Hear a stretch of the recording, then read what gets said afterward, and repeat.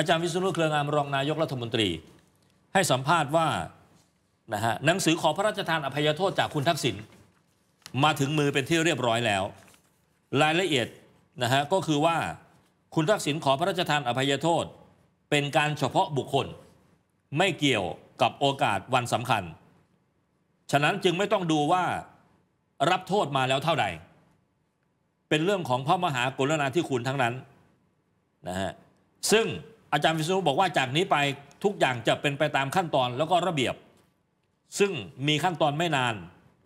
ส่วนจะทันสมัยที่ตนเองดำรงตำแหน่ง รักษาการรัฐมนตรีว่าการกระทรวงยุติธรรมอยู่หรือไม่ยังไม่ทราบ เพราะไม่รู้ว่าต้องไปอยู่นานเท่าไหร่และประเมินไม่ถูก เพราะยังตั้งครม